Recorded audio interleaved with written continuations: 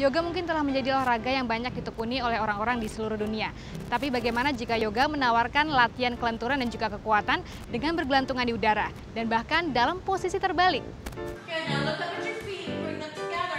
Sepintas mereka terlihat seperti berakrobat daripada beryoga.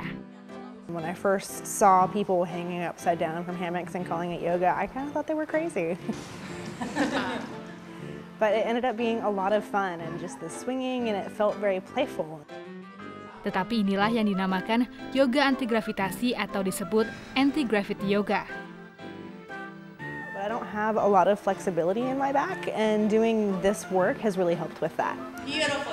Peter Blair adalah salah satu instruktur. Dia mengatakan bergelantungan terbalik membantu tubuh dengan cara yang tidak bisa dilakukan oleh yoga jenis lainnya. You actually have spinal decompression, so when you're upside down, your vertebrae actually open up so that the space in between the vertebrae opens naturally and gently. Chris telah mengikuti jenis yoga tradisional. Tetapi ini kelas anti-gravity yoga pertamanya.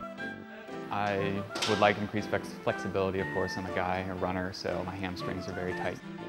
Ketika anti-gravity yoga diperkenalkan tahun lalu, banyak orang di kelas ini yang tertarik. Anti-gravity yoga is a combination of Pilates, a little bit of yoga, aerial arts, and suspension training. So it's not just yoga. You literally could be of any fitness level. You can have injuries. It doesn't matter how old you are. Anyone can take the class. So it's been a huge draw for us.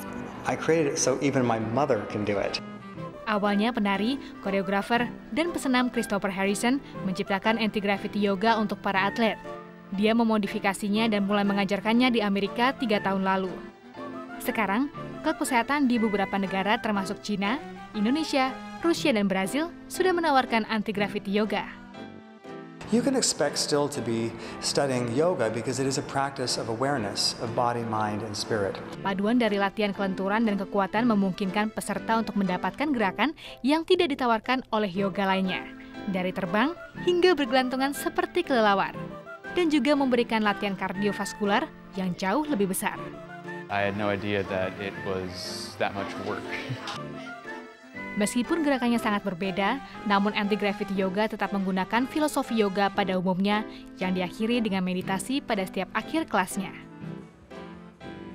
Dari Los Angeles, Tim Liputan VOA.